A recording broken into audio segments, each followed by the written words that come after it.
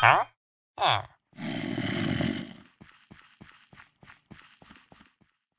Hello, and welcome to our art gallery.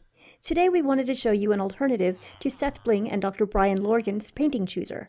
If you haven't seen his video yet, there's a link in the description and we recommend you check it out as it's really clever. But now we'll take a look at how ours works, and then we'll discuss the pros and cons of each approach.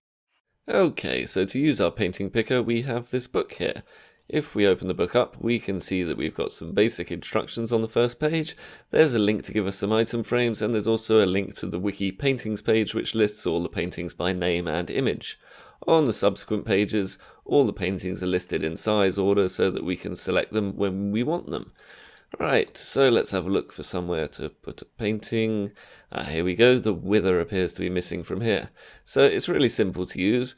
All we need to do is give ourselves some item frames, and then we place the item frame in the bottom left corner of where we want our painting to appear, and then all we have to do is select the name of the painting we want, and there we go, it appears, and the item frame disappears. Job done.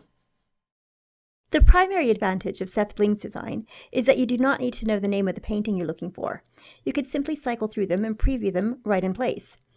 On the other hand, with our design, there are no clocks used in this build, so if you did want to use this in your world, it would not add any extra load.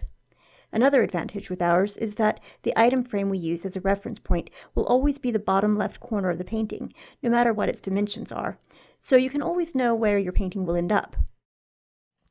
Okay, so the way this works is each one of these tiles of this command block machine represents one of the paintings available in the game. We originally wanted to make this work using custom named item frames, but unfortunately using custom name selectors on item frames doesn't appear to work, so instead we've had to use the scoreboard.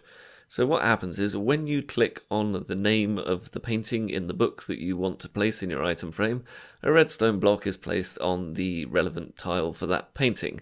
And then it gives any item frame within a 5 block radius of the player holding the book a score of 1.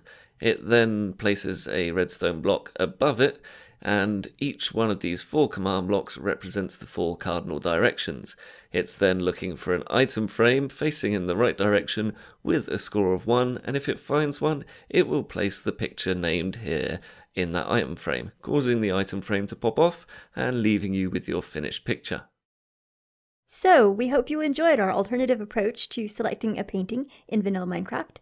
We aren't saying that this is better or worse than what's already out there, it's just different. If you want to have this in your world, we have included a schematic in the description. Anyway, thank you very much for watching, and as always, we hope to see you next time.